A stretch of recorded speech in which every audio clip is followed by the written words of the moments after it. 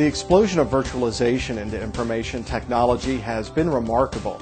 Everyone is virtualizing their servers to save money and simplify server management, but their work has often come at the expense of visibility into critical business services. With Network General's delivery of virtualization forensics, we're integrating application performance with network information to provide a more comprehensive view of performance.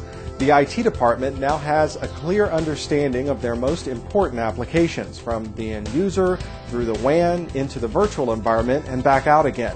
It's a view of performance unlike anything else in the industry, and it's what Network General customers have come to expect from us. An additional benefit of virtualization forensics is the automation that we bring to IT. Our solution will automatically identify the virtual server operating system each individual virtual server and will automatically define tests and thresholds that are specific to the virtual environment. We even go a step further by examining the services running inside of the virtual server and will automatically create thresholds and monitor those systems as well. Our customers can create a basic structure for managing the services in their virtual environments without any additional work. The key to virtualization forensics is the ongoing innovation of the Network Intelligence Suite. By combining the intelligence gathered from network packets with the internal statistics associated with individual components, we can create a view of IT services that we call business containers.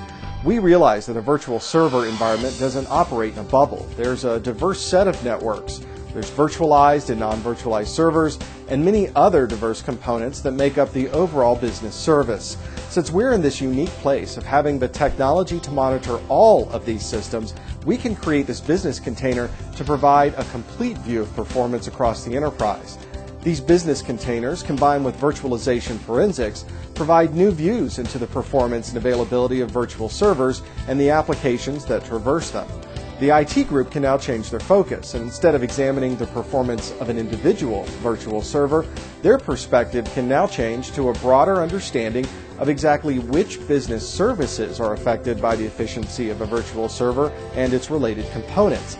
It's a new way of running the business, and Network General has products and solutions that provide the truth about what's happening with critical IT services.